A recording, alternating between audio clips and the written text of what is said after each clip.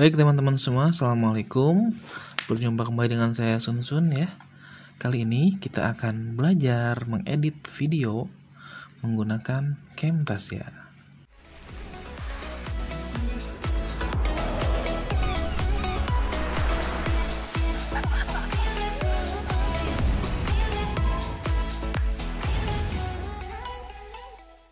Oke teman-teman, ini dia Camtasia-nya ya Camtasia ini adalah aplikasi untuk mengedit video, tapi lebih sering digunakan untuk merekam layar komputer kita ya, baik laptop ataupun PC. Jadi semua kegiatan yang ada di laptop kita itu bisa direkam menggunakan Camtasia ini. Bahkan ketika saya menggunakan dan ketika saya membuat tutorial ini, saya menggunakan rekaman layar menggunakan Camtasia ya.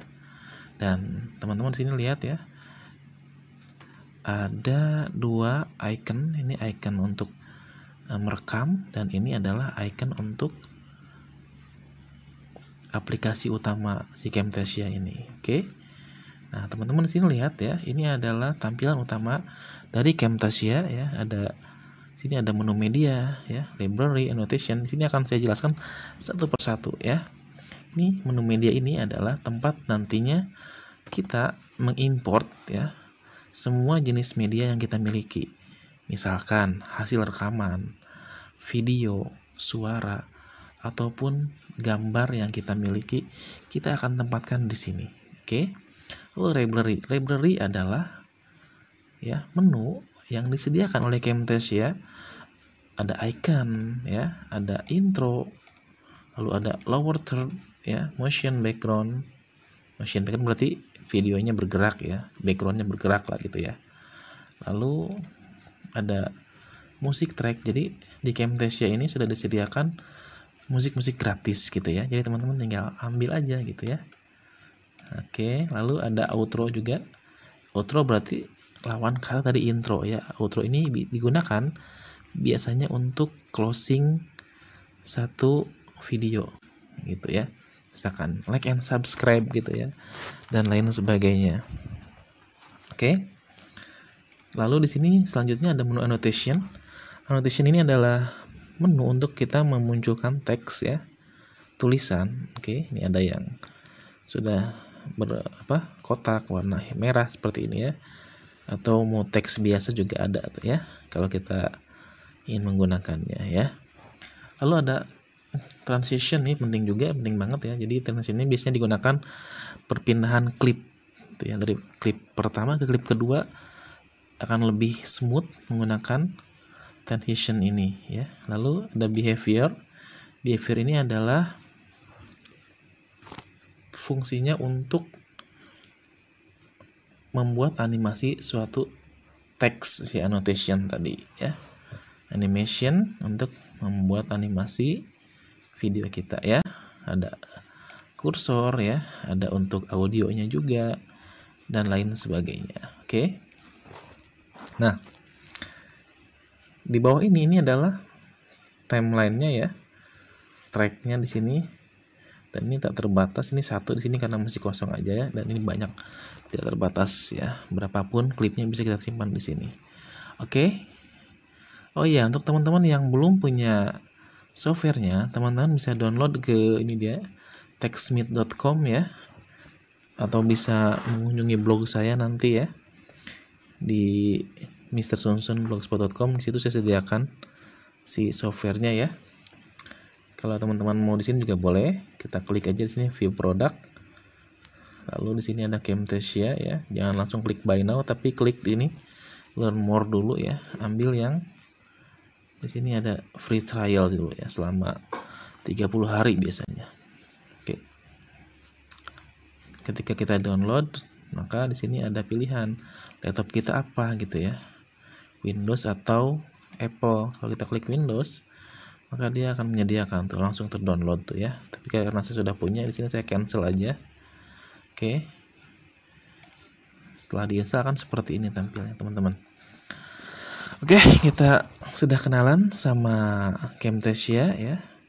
Kita siapkan juga di sini footage-nya ya. Footage itu adalah klip-klip yang akan kita edit ya. Ini ada punya empat klip ya. Tapi kita akan gunakan yang dua klip aja deh ya. Biar langsung paham teman-teman. Sama klip satu klip musik ya saya sediakan juga di sini. Oke kita langsung impor. Cara impornya gampang ya di blok seperti ini. Tarik ke Camtasia nya paste di sini. Tuh ya. Atau teman-teman bisa di sini ya di tempat ini klik uh, klik kanan import media ya. Tuh ya. Sama sih sama aja caranya ya. Tapi saya lebih suka kayak tadi di drag and drop itu ya lebih cepat oke langsung aja. Sekarang kita tambahkan klip satu klik kanan. Itu timeline atau geser seperti ini. Tuh ya. Sama aja ya itu timeline klip duanya tuh ya. Tuh. Oke.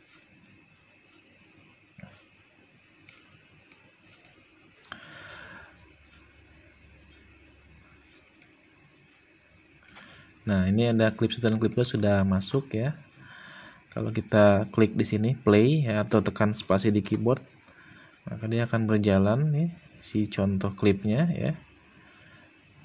Oke, ketika dia pindah misalkan perpindahan ke klip kedua maka akan langsung seperti ini tuh ya jadi kurang smooth gitu agar smooth gimana tadi ya kita akan menggunakan transition di sini ya transition tapi sebelum kita ke menu transition nih kita akan mulai dari menu library dulu aja ya. Oke. Nah ini kayaknya kepanjangan videonya ya. Kita potong aja. Gimana sih cara motong video? Trim video itu gimana caranya? Ini kan kepanjangan nih. Teman-teman klik seperti ini. Misalkan sampai sini. Tapi dia nengok gitu ya si orang yang nengok oke di sini.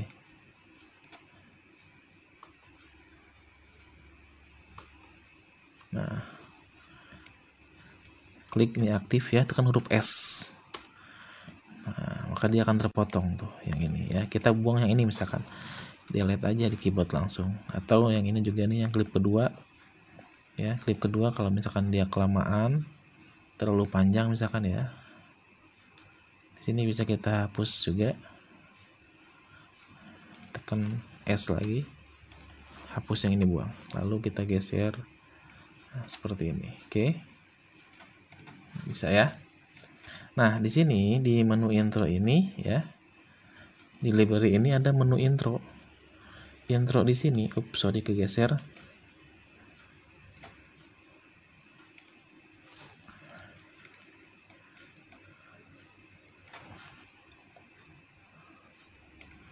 oh oh kegeser ini. Nah intro di sini. Jadi untuk opening gitu ya pembuka ya. Misalkan saya mau openingnya mau yang uh, ini nih spinning computer misalkan. Klik kanan ya. Itu timeline. Nah kalau saya play maka dia ada animasi komputer tuh ya laptop maksud saya. Dan tulisan ini ya tulisan si TextMate Camtasia ini bisa kita hapus. Ya ini kan nih. Kalau kita play kan tulisannya Camtasia nih ya. Oh, ini kita bisa ganti ya. Dan sini ada nih tulisannya nih. Nah, misalkan di sini tulis belajar edit video. Gratis. Seperti ini. Maka dia nanti akan berubah juga tulisannya. Kita geser ke depan aja ya ke samping kiri. Nah, seperti ini. Lalu kasih tarik ke bawah aja. Ups ini.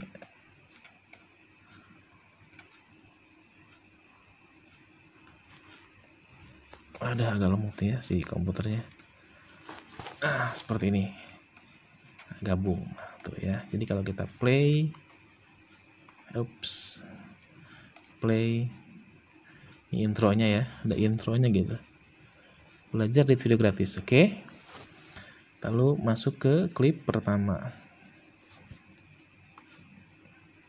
Ini agak lemot ya teman-teman ya sorry. Oke. Okay. lalu ke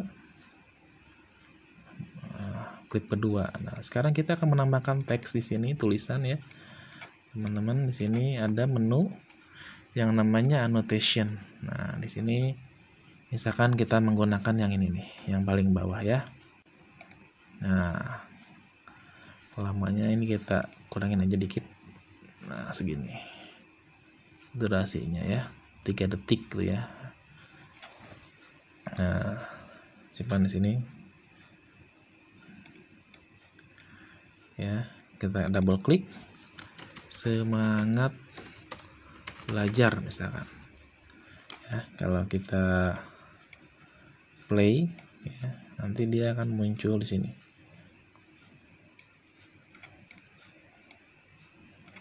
Oke.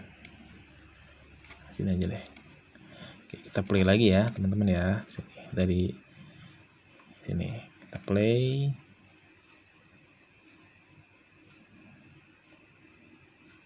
uh lambat perpindahan klipnya ternyata ya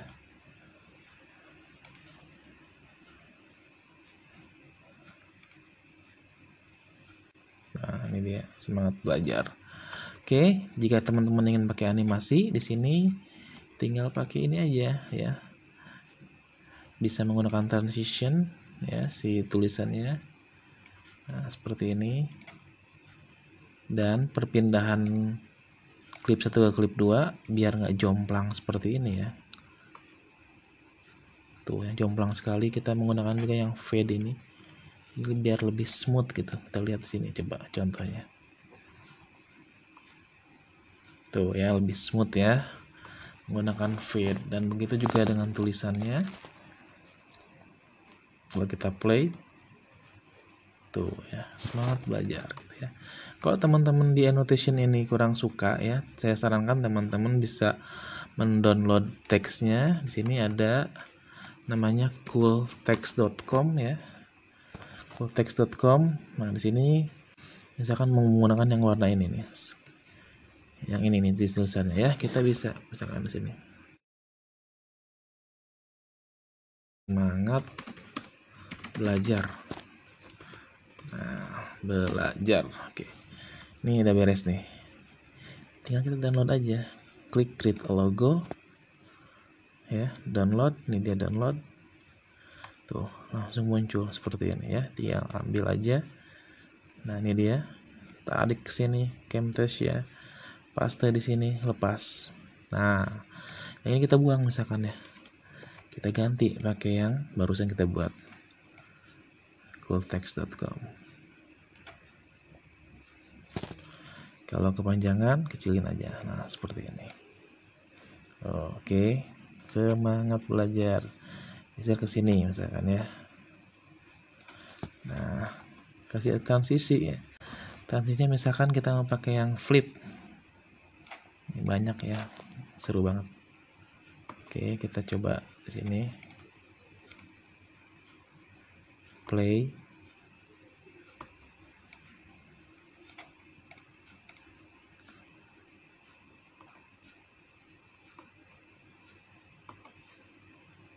Tuh, oke. Okay. Sip. kita lanjut kita lanjutkan.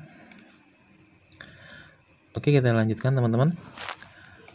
Kembali ke menu media ya. Oke, di sini di menu media ada yang namanya oke, musik ya. Walaupun tadi di library ada musik, tapi saya lebih suka menggunakan musik yang saya punya sendiri ya tinggal kita klik kanan aja terus add to timeline. Nah kalau kepanjangan seperti ini teman-teman klik aja di sini ya di pojok videonya terus tekan huruf S. Nah pastikan sebelum tekan huruf S dia aktif dulu nih seperti ini aktif. Ya aktif nih ya huruf S. Nah buang yang nggak perlu. Nah seperti ini. Jangan lupa di ujung video ini ya kalau kita play di sini jadi si musiknya masih keras walaupun sudah di akhir video ya. Biar smooth sih musiknya teman-teman klik menu more lalu audio effect ya. Nah di sini pilih yang fade out. Tuh oke. Okay. nah, play deh. Tuh ya jadi klipnya beres dia juga lebih smooth gitu udahnya si musiknya kalau kita dari awal.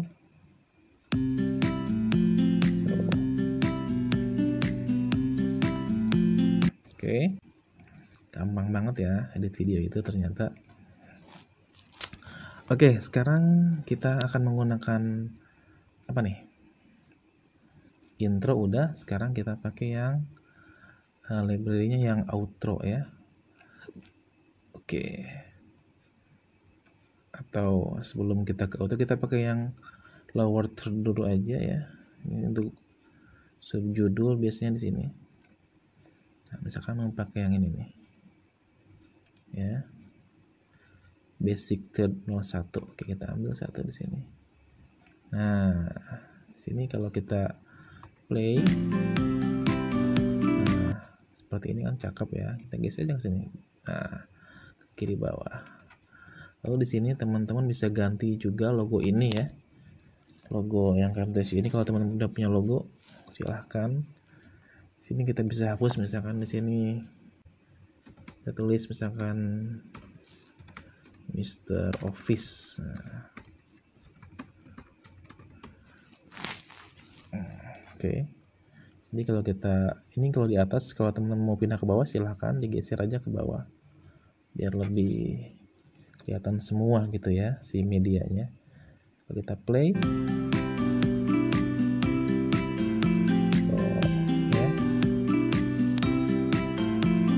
dan kalau di ujung video di ujung tuh ya dia langsung animasi sendiri oke okay? itu untuk menggunakan lower third ya nah sekarang saya ingin ngezoom orang ini biar kita zoom gimana caranya jadi ketika sampai sini ya tadi saya mau ngezoom orang ini. Teman-teman caranya klik menu animation ya. Sini ya menu animation. Terus kita seperti ini nih guys ya. Set kita zoom orangnya. Nah. Oke set. Nah, kita play biarkan aja biarkan terus. Kita beres nah, misalkan segitu aja. Di sini ya kita normalkan lagi layarnya. Ya pilih teman-teman di sini scale to fit. Nah jadi animasinya ini mulai ini selesai gitu ya. Kita akan lihat hasilnya. Nah di sini ya kita akan play lagi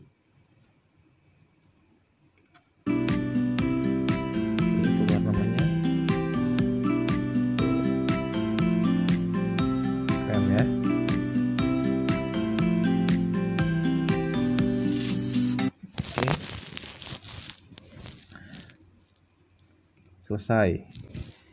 Oke. Udah. Saya yakin teman-teman bisa langsung menerapkan ini ya. Oke sekarang kita akan menggunakan teknik yang lain yaitu teknik green screen ya teknik green screen. Sekarang kita akan ambil dulu file green screennya. Di sini pastikan kita sudah menyiapkan dulu ya green screen ini. Saya punya green screen seperti ini kita langsung ambil aja geser ke sini ya. Dan di sini kalau misalkan di sini ada orang ya sama aja tapi di sini green screennya saya menggunakan teks ya. Kalau di sini kita play. Nah seperti ini tuh. Oke. Kita akan kita akan hilangkan ya si warna hijau ini. Caranya gimana? Di sini kita masukkan dulu ke timeline kita ya nah seperti ini misalkan di sini. Nah kalau kepanjangan di sini potong aja. Oke.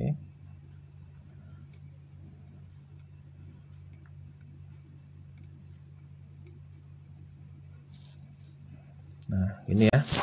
Ini kan kalau kita play.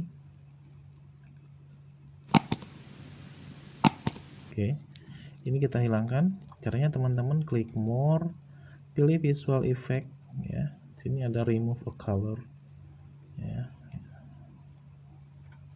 Oke. Okay. tadi kok masih ada? Oke okay, kita ambil di sini ya. Remove colornya. Ambil ini. Select ya. Tuh langsung hilang. Oke. Okay.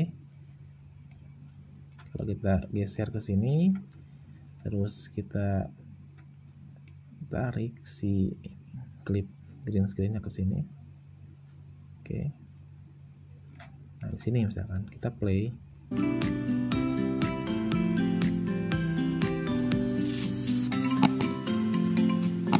Nah ini kegedean gimana dong caranya? Diklik aja dulu terus uh, kecilin ya.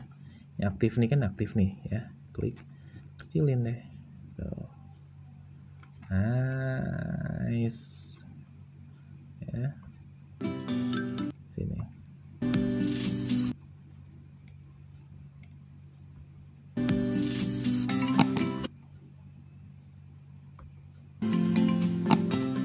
Oke. Oke saya rasa cukup mudah ya. Di akhir videonya jangan lupa di sini teman-teman kasih op ke closing ya. Karena kita sudah menggunakan opening ya. Jangan lupa closing sini teman-teman ke menu library lagi. Terus ada outro ya. Sini ada simple auto ya. Kita pakai yang simple aja yang ini misalnya nih. Nah. Ini dia di ujung video ya. Tuh thanks for watching ya. Ini bisa kita hapus misalkan yang nggak perlu ya. Seperti ini. Ups kehapus semuanya sorry nah di sini. Ya tuh gampang ya teman-teman. Atau musik musiknya masih mau ada misalkan di sini. Geser ke sini. Jangan lupa di sini di remove dulu ya audionya. Terus kita kasih lagi ya audio efeknya. Fade out di sini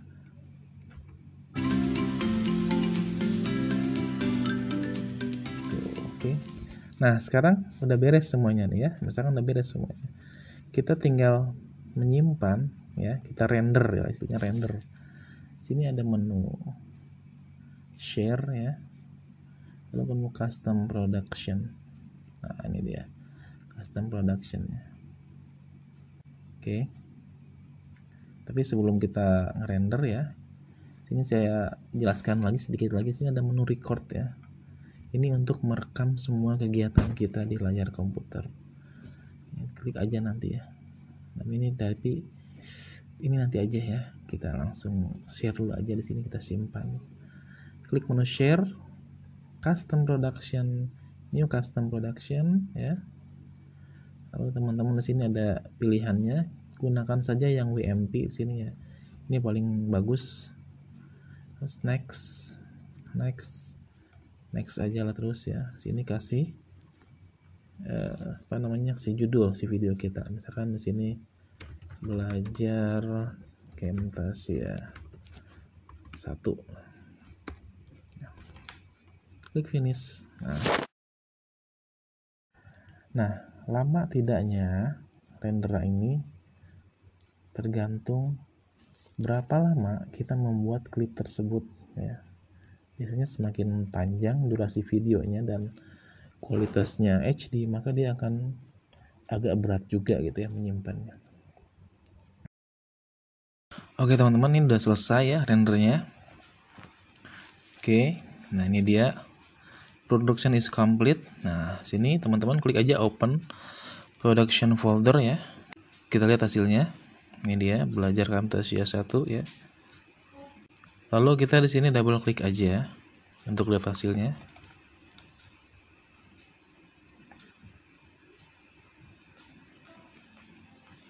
Wih, keren ya.